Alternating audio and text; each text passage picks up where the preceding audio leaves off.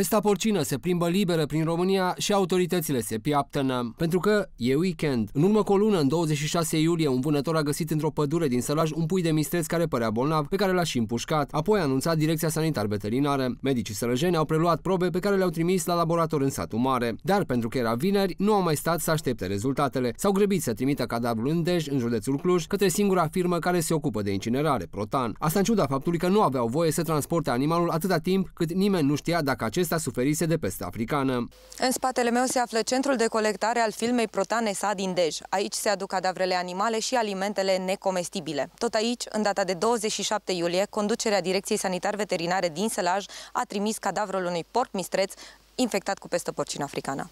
Când au trimis animalul la Dej, inspectorii veterinari sălăjeni nu au scris în documentul de predare că mistrețul este suspect de peste porcină. La două zile de la transportarea lui în județul Cluj a venit și confirmarea de la satul mare. Porcul fusese bolnav și trebuia incinerat, apoi îngropat. Nici măcar după ce a aflat de peste, DSVSA Sălaj nu a anunțat societatea Protan. După 11 zile, un medic angajat la DSVSA, revoltat de atitudinea colegilor, a anunțat autoritățile din București. Degeaba. Am uh, făcut o sesizare la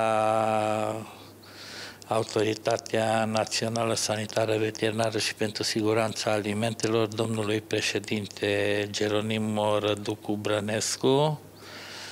Am solicitat un răspuns uh, și măsurile care se vor da. Până la ora asta nu am primit niciun răspuns și nu am observat sau nu am cunoștință de nicio reacție din partea autorității. Cam atât despre interesul mai marilor țării pentru pesta porcină africană. Drept urmare, au trecut trei săptămâni și cadavrul mistrețului a zăcut infectat în depozitul firmei Protan, până când urma să vină ziua ca toată marfa colectată de societate să fie dusă în Ungaria pentru incinerare. Livrarea aceea de la Sălaj a fost un cadavru de porc cu uh, inițial suspect cu de pestă porcină și ulterior confirmat, dar de care s-a anunțat numai efectiv.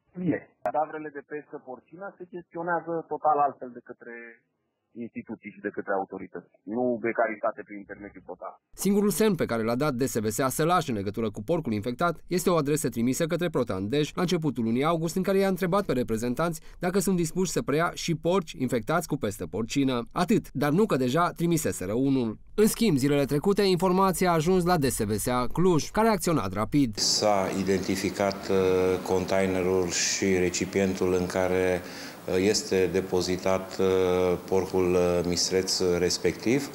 Uh, unitatea a fost plasată sub restricții sanitar-veterinare. Mai clar, întreaga firmă Protan a fost izolată. Nu mai intră și nu mai iese niciun gram de marfă. Iar mâine vor începe procedurile de incinerare la fața locului a întregii cantități de resturi animale strânse de Protan, nu doar a mistrețului. Asta pentru că toată marfa a fost contaminată. În plus, întregul județ este în alertă. DSVSA Cluj verifică toate fermele. Chiar dacă porcul a fost transportat într-o mașină specială și depozitat într-o cutie închisă hermetic, direcția din Sălaj nu a respectat normele. Și întreaga procedură a fost încălcată încă de la început, când animalul nu avea voie să fie scos de pe fondul de vânătoare.